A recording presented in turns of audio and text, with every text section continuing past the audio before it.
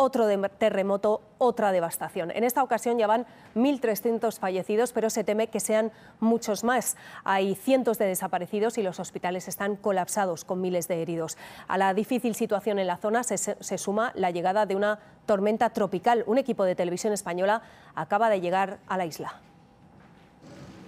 El balance oficial es de momento provisional porque hay cientos de desaparecidos, pero los datos ya convierten este terremoto en uno de los más devastadores y mortales de los últimos 11 años en América Latina, solo superado por el ocurrido aquí en 2010, que dejó más de 200.000 fallecidos. Mientras continúan las labores de rescate en la zona más afectada al suroeste del país, a donde sigue llegando toda la ayuda internacional. De nuevo, un terremoto azota a uno de los países más pobres del mundo, que ahora mismo atraviesa una profunda crisis política tras el asesinato de su presidente Jovenel Moïse. Los equipos de rescate buscan a la desesperada supervivientes entre los escombros, pero lo que encuentran sobre todo son fallecidos. Los Cayos, en el sur de Haití, es la ciudad más afectada. Los muertos ya superan el millar en todo el país. Donde yo vivo está todo destrozado, dice esta mujer. Hay muchos muertos, no sé decir cuántos.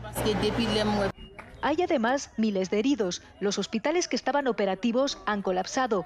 A todos estos pacientes los atienden en la calle porque dentro ya no hay sitio. Los daños materiales son incalculables. 30.000 familias se han quedado sin casa, explica el director de Protección Civil. Muchos han pasado su segunda noche al raso. Estamos durmiendo en la calle, explica este hombre. La situación es muy difícil para nosotros.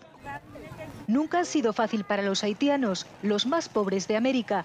Al coronavirus y la crisis económica y política se sumó hace un mes el asesinato de su presidente, Jovenel Moïse.